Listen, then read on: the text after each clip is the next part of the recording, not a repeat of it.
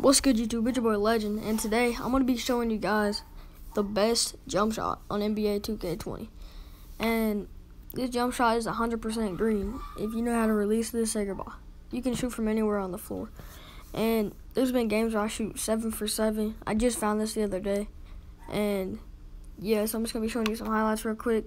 Just watch this. Green. Stop playing, man. Just watch this clip right here, man. Momentum. Step back, broke his ankles. Step back from white line, green. Green, man. Okay, now let's get into this jump shot real quick. I was going to show you a whole gameplay, but I feel like you guys don't need to wait that long. So, here's the jump shot right here. Let's get right to it. The jump shot is jump shot 70.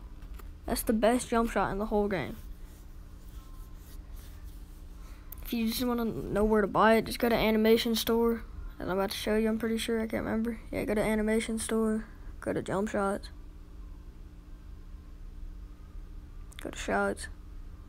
Jump Shots. Just go down. My controller's messed up, so I might skip it. I can't remember, though.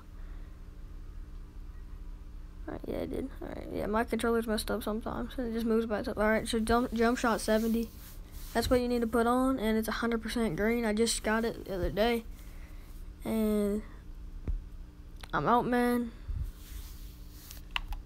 And peace.